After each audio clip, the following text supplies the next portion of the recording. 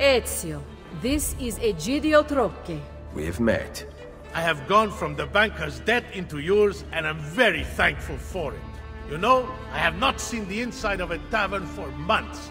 The opportunity to change things here trumps a drink any day. The senator was just telling me of the inner workings of Cesare's court.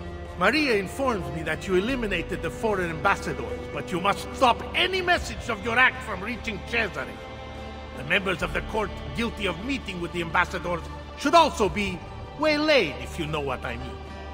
Most importantly, the great agitator Prospero Colonna has been captured. If you free him, it will mean a great blow to the Borgia. It shall be done, my friend.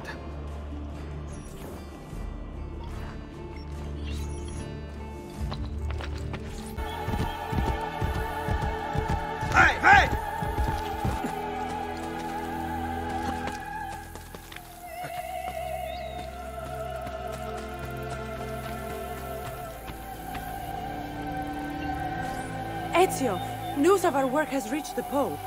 As we speak, he prepares a courier for Romagna. If Cesare suspects his allegiances are slipping, he will fill the city with troops. Take the Pope's letter from the courier without his knowledge. Bring it to me, and I will prepare a forgery.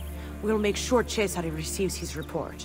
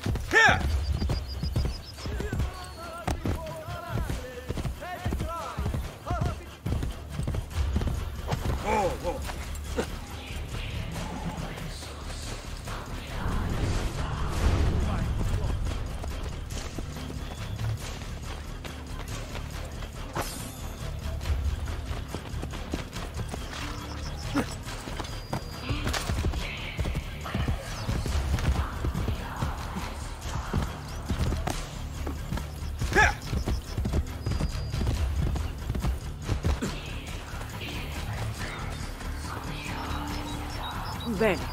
I can work. Give me a moment.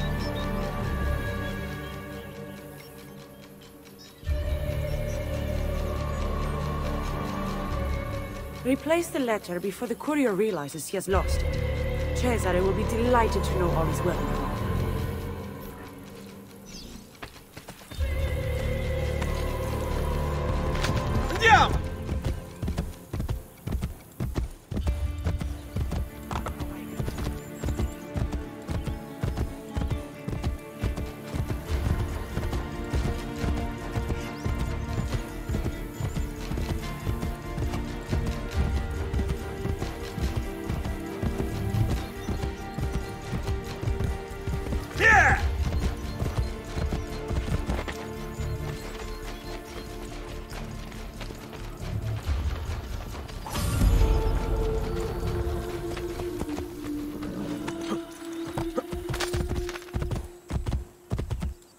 Hey, hey!